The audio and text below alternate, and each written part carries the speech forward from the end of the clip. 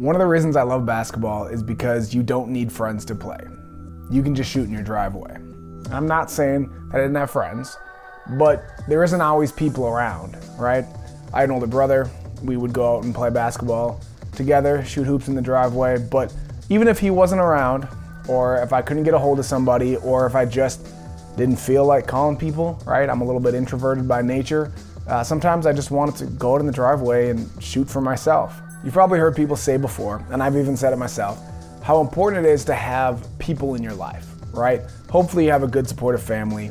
Hopefully you have some friends, co-workers, people in church, right? Get involved in a life group at your church or just make sure that you actually, you know, talk to people on Sunday morning, come early, stay late, have that that communication, that community, right? That church provides on Sunday morning. Don't just sit in the back and leave. And that's important and that's huge and I really do encourage you to get involved in your local church, join a life group, you know, have friends and family that you can not just hang out with and enjoy time with, but you can actually, you know, have real conversations, talk about life, talk about God, spiritual things, deep, meaningful things, talk about your fears, talk about your dreams. But there's just some seasons in your life where you can't count on other people. And even if you're in a season where you have a lot of people in your life and you have a good family, some good friends, a church group, there's going to be moments during those seasons that you got to learn to just do it by yourself. You can't always count on other people to lift you up,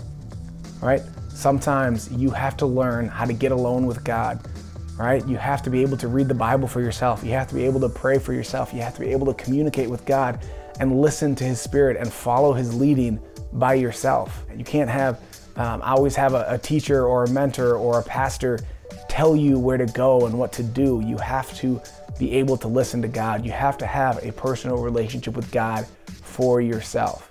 Christianity is supposed to be community, right? Church should be community, but it's also a very deep personal relationship with Jesus Christ. You can't get by on your mom and dad's faith. You can't get by on your pastor's faith. You can't get by on on your church's faith and the other people in your life. You have to make that relationship your, yourself. So, yeah, it's great when you can call up nine buddies and you can get together a game of five on five full court, right? That's awesome. I love doing that. But sometimes, some seasons in your life, some moments in those seasons, you got to do it by yourself. It's great to have people to encourage you. But in Psalms, over and over again, you see David encouraged himself. And honestly, with the start that 2020 has been, I've needed these videos to encourage myself because I've felt there's been times when I'm frustrated, when I feel like giving up. And usually that's about the time that I got to edit another one of these videos and I watch it and it's literally me encouraging myself. If none of you ever watch this, which I, I hope you do, I hope you share it, I hope you tell people, I hope it encourages you, I hope it helps you. But whether it does anything for you or not, whether another person watches these or enjoys these or is encouraged by these, I make these videos for myself. I like playing a game of five on five, but I'm okay shooting in the driveway.